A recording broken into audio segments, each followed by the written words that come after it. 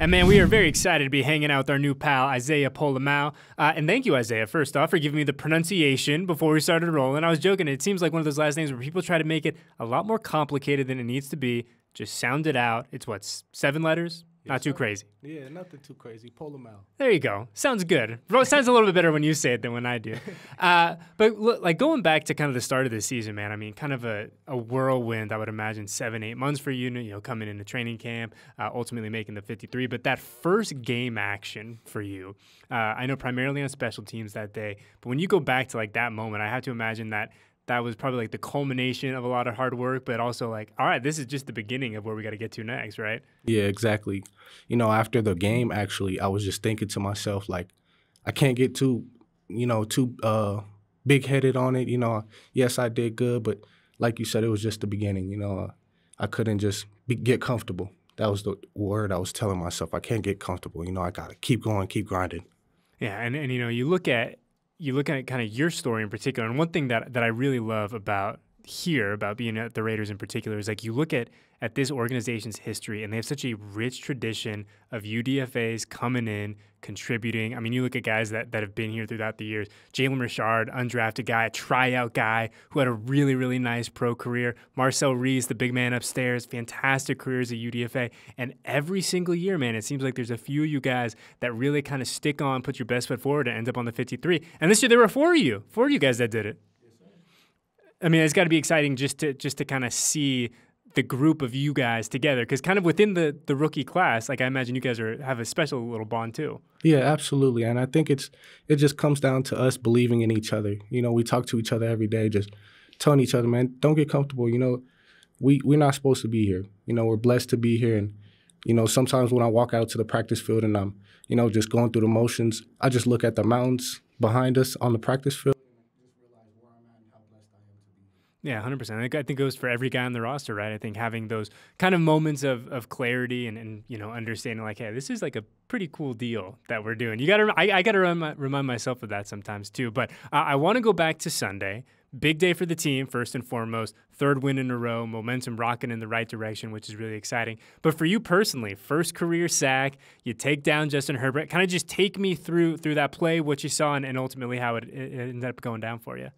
You know, it was all part of the game plan. But as soon as uh, the the ball snapped, I just ran, and you know the tackle kind of gave me a little pressure, and you know I fought back, and then thirty stepped up, and you know it was all about just running through him and getting to the quarterback. So that's what I went to, and went to the power, and ended up falling right into it. Yeah, and I mean, I think it, it, certainly helps when you have Chandler and Maxx and guys on the defensive line flying around uh, as much as they are. Like when you kind of look d- defensively, like overall schematically, how much easier does it make life for you guys on the back end when the big big fellows up front are doing their job? Oh, it's a world of difference. You know, we only have to cover for a couple seconds, and after that, you know, he's run- they're running for their lives. So as long as we can do that and do our jobs, we'll have a great time. And I was thinking back to, I was going back and I watched the sack a few times when we found out you were coming up today. And I think the biggest thing for me is no pun intended. Herbert's a big dude, bro. Like he is. He seems like he's one of those guys that is really hard to get to the ground when you have the opportunity to do it.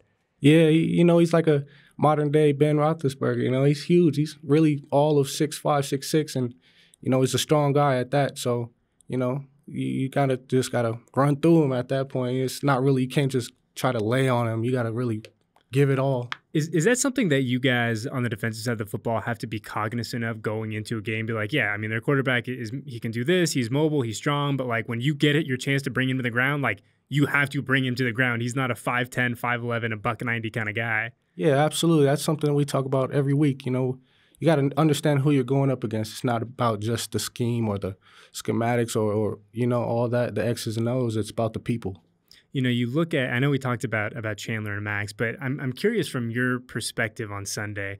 I mean, that first half for Chandler in particular, I mean, the guy was possessed, right? A, a, man who literally like, oh my god, like no one can stay in front of him. Everything seemed to be working for him. Should have really had four sacks, yeah. as crazy as that sounds. But I mean, what did that just look like from your perspective that back there watching 55 go to work? Oh, it made everything so much easier. You know, when he we just un- unleash him and you know, let him do his thing. It's we're just back there and kind of waiting for a play. You know, kind of sometimes you get bored back there, like, oh man, am I gonna get some action? Like, you know, him and Maxx both are, are unstoppable beasts. Like they're ridiculous, and I love playing with them. What's the most in the zone you've ever seen a teammate? I mean, we talked about Chandler's first half. It seemed like there was nothing that Chandler was doing that that wasn't working. Like whether it's this year or college, like what's the most like, oh, this guy's just fully in the zone, rocking. You know, it, it's when you when you say that, it's really hard not to think about Maxx Crosby. Mm-hmm. You know, it, it's an everyday thing with this guy though. Like even in the walkthrough, he's taped up, cleats on, gloves on. You know, he's ready to go, ready for battle right now. So, I mean, I, I think that's one guy that stands out above everybody. It's really funny you say that because we talked to Maxx after one of the preseason games, and I was giving him a hard time. I said, dude Everyone in this building knew you were not going to play today, but you got the paint on. Yeah. His ankles are taped. He's got the gloves on and the sleeve. I was like, dude, I mean, a fantastic acting effort by you, but I think that just goes to show like he's the kind of guy. He talks about his routine and his process, and yeah. it's got to be the same every single day, whether it's a practice, a walkthrough, or, or going out there on Sunday. Exactly. You know, he never takes a day off. Everything is about routine with that guy, and that's someone that I kind of look up to for that. How much of a routine or of like finding that routine is is important for a guy in your position, a rookie, a guy who's still, you know, in many senses, still trying to figure out life in the NFL? Like, how valuable has it been to kind of find that routine and, and kind of fine fine tune it along the way too? You know, that's everything, especially for a young guy, rookie like myself. You know, just kind of find what works for me. You know, do I have to stretch before I go to sleep like some guys, or you know, do I have to wake up super early and get a breakfast in me? Like all of that counts into you know taking care of your body and and making sure that you're able to perform to the best of your ability on Sunday. How much is how much different is your routine this year than it was say a year ago as a college kid, or is it is it still relatively similar? No, it's definitely different. I would say it's completely different, honestly. You know, I, have taken everything a lot more seriously now. Um, you know, because this is my job. You know, I get paid for this, so this is something that I've put more of a focus on of just taking care of my body, getting better sleep, eating the right things, you know, getting the rehab and the prehab and just being ready.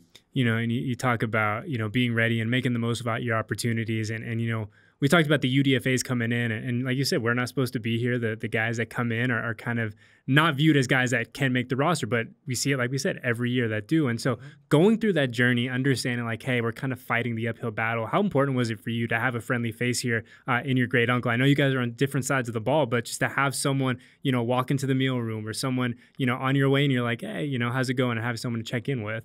Yeah, not only uh, a, a friendly face, but you know, family. You know, that's big for me. I come from a family first, uh, fa- uh, family oriented. You know, bring bring up. Uh, yeah, yeah, you know, yeah, yeah. Uh, you know? Like you were raised that way. Yeah, yeah. That's just how upbringing, upbringing. That's yeah, what we are trying to get to. It took two of us, but we got there.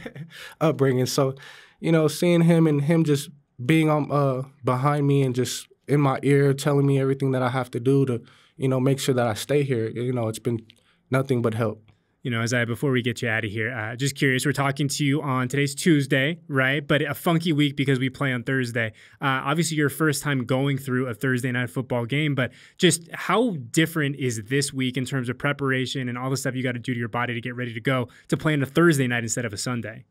Oh, it's a lot different, honestly. You know, it's especially this being my first time. You know, it's it's really different. You know, everything's happening right now. Everything's much faster. You know, we have to go through game plan twice, even two times faster, you know. So uh, a lot of it is just putting more preparation on myself and making sure that I'm ready to help my team. You know, and coach was saying yesterday when he talked to the media, he said, you know, no practice this week, strictly walkthroughs, and he's you know because it's going to be a lot of intensive, like kind of mental work. I know that we still have you know 48 hours before game day. But is that kind of how your imper- your interpretation of it, of it has been so far? Oh, absolutely. You know, after this morning, uh, the last game is already it's behind us. You know, we're on to the next game, so you know, we talk a lot about strain, and that's not just physically; it's it's mentally as well. Hundred percent. Well, hey, man, whatever you guys have been doing as of late is working. The Raiders have won three in a row, trying to make it four this upcoming Thursday night in prime time, man. And there's always something a little special about prime time too, isn't there? Yep, that's where the stars show up. Exactly, hundred percent. We're hoping we see you show up on Thursday night. Good luck to you the rest of the way. Stay safe on on Thursday. We'll catch up with you soon. All right, man. Yes, sir. Thank you.